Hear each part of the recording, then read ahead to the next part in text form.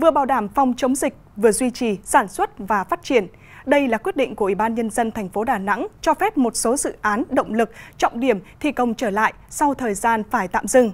Ngay sau khi nhận được chủ trương này, thì các đơn vị nhà thầu đã khẩn trương bố trí nhân lực, vật lực, tái khởi động quy trình phòng chống dịch nhằm đẩy nhanh tiến độ thi công các hạng mục của công trình. Sau 17 ngày tạm dừng, đơn vị thi công dự án đường vành đai phía Tây đã được cấp phép tổ chức triển khai thi công trở lại. Đường vành đai phía Tây là dự án có ý nghĩa quan trọng trong việc kết nối giao thông, phục vụ phát triển kinh tế của thành phố Đà Nẵng. Chúng tôi ờ, đảm bảo 100% là công nhân ờ, nếu đã thi công tại công trình thì phải bắt buộc phải ở lại tại lán trại. Và trước khi vào công trường là bắt buộc phải đeo khẩu trang, rửa tay và đo thân nhiệt trước khi vào công trường.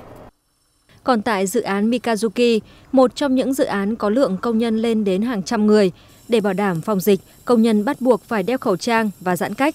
Nếu phát hiện vi phạm sẽ bị nhắc nhở, thậm chí nghỉ việc. Không chỉ vậy, chủ đầu tư đã yêu cầu công nhân ở tại công trường không nhận công nhân mới và quản lý công nhân chặt chẽ theo từng lán trại khác nhau.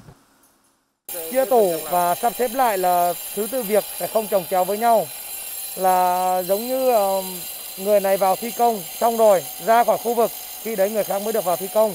Không đặt tiến độ lên hàng đầu nữa mà mình đặt cái an toàn là lên hàng đầu, an toàn trong quá trình thi công, an toàn cho công nhân và an toàn cho dự án. Hiện toàn thành phố Đà Nẵng có 18 trong tổng số 58 dự án trọng điểm động lực được hoạt động trở lại. Các địa phương cũng đang tiếp tục xem xét chỉ những dự án động lực trọng điểm ở xa khu dân cư, thi công chủ yếu bằng máy móc, thiết bị và phải được kiểm tra, đáp ứng yêu cầu phòng dịch thì mới được triển khai trở lại.